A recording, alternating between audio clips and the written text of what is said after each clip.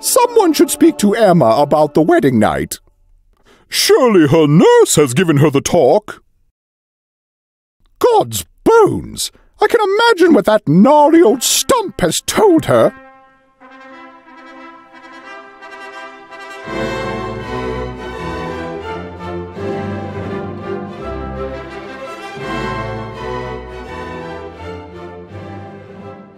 She may already know. She may have done the deed of Venus with a troubadour. Let's be certain. You speak to her, Allys, and make sure she's prepared.